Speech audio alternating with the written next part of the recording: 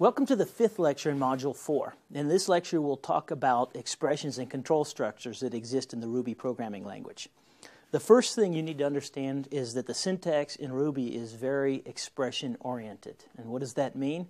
Well, that means that everything in Ruby is treated as an expression, and this is different from a lot of other programming languages. So, uh, uh, what that means is that every expression, every statement, everything you write in Ruby evaluates to something. As an example, the control structures for conditional and, and loop uh, structures in other languages typically don't evaluate to anything. In Ruby, they have a value, and the value they assume is the last expression that's evaluated as a part of that structure. So uh, if you go to IRB and uh, type a quick if statement that I'll show you, you'll see that it actually evaluates to something. It returns a value. So uh, there are if case and for structures in Ruby that we're going to see in this lecture. Again, all of them return a value. Let's look at the conditional expressions first. So Ruby has conditional execution very similar to other programming languages. It's if, expression, there's code, and then there's an end statement. And so what's a little different in some other programming languages is that there's an end statement associated with that if. It's not in, the the, the piece of code that executed is not enclosed in brackets. So um, in this uh, in this if statement, the code is executed if and only if that conditional expression that I show there, only if it evaluates to something other than false or nil. You can extend this with else clauses.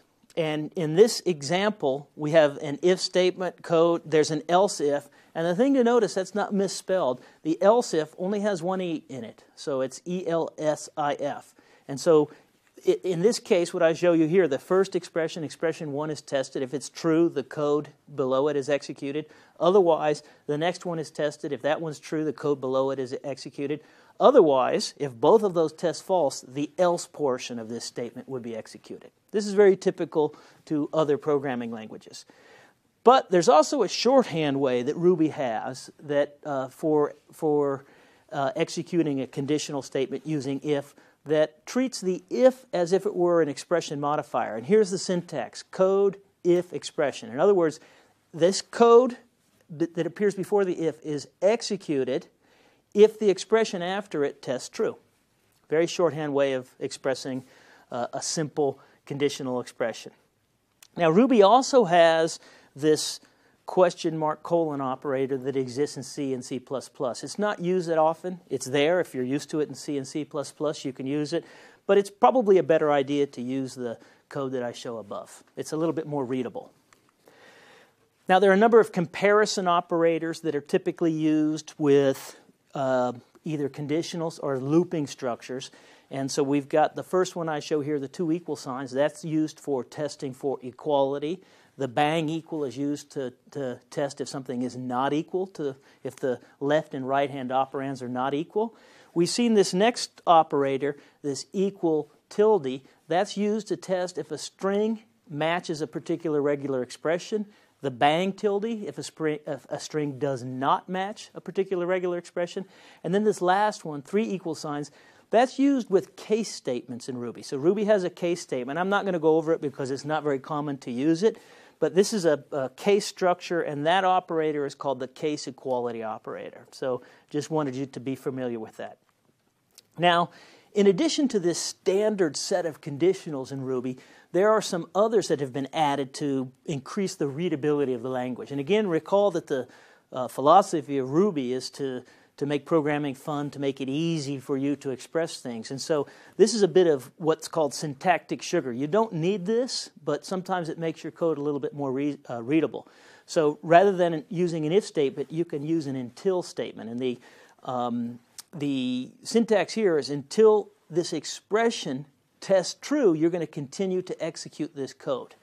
That's what that means. So, in other words, um, it'll continue to execute until something other than false or nil is returned by that expression I show there.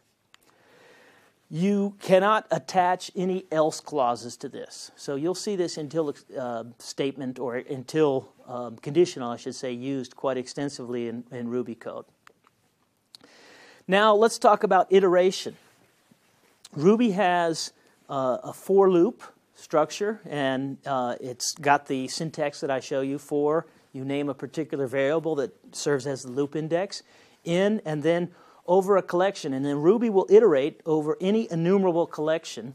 And we'll talk about collections in the next lecture, but basically, this goes through each element in that collection and executes the body of the code over that collection. There's also an exit condition loop. So the first loop I've shown here is an entry condition loop. In other words, the body always gets executed at least once. In a while loop, that's an exit condition loop. Only while that condition is true will that body be executed. And so if it tests false the first time around or nil the first time around, the body's never executed.